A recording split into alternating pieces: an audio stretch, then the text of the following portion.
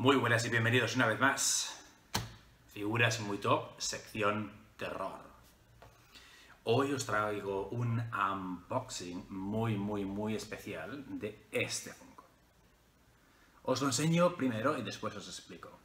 Delante, lateral, trasero, lateral, parte de arriba y la parte de abajo con su correspondiente código. A ver si enfoca.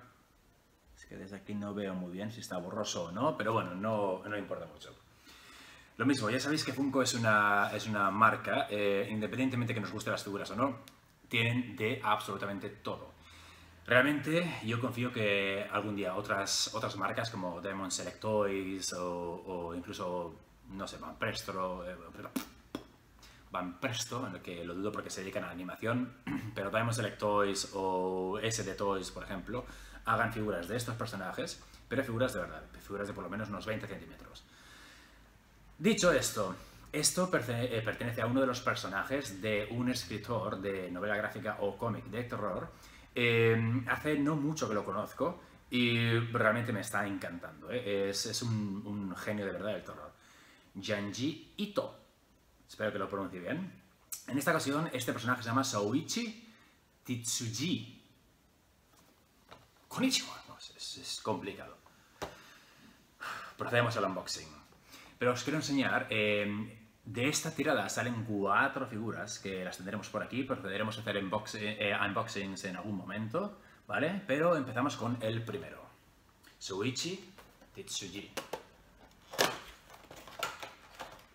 Este viene con eh, las pestañas, dobles pestañas. ¡Clac, clac!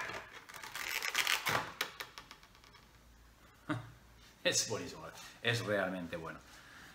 De cerca, el efecto de los ojos, tal cual en el cómic, es genial. Aquí sale como merendando, a ver si enfoca bien, una, una araña. es genial, ¿eh? Bien, bien, bien, bien, bien. Para entenderlo, realmente tenéis que leer eh, alguno de sus cómics, ¿eh? realmente lo recomiendo, es buenísimo. Eh, unos te gustarán más, unos te gustarán menos, pero eh, a mí yo recuerdo dos que sí que me han impactado bastante y voy a seguir leyéndole. Funko Pop Terror, procedemos a un 360, Souichi Tsuji. No puede ser más complicado, ¿no?